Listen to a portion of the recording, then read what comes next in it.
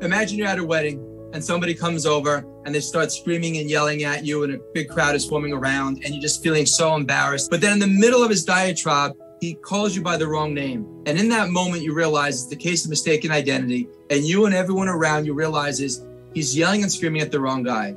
Instantly, our pain evaporates. When somebody is yelling and screaming at you, if somebody doesn't treat you politely, they've got the wrong guy.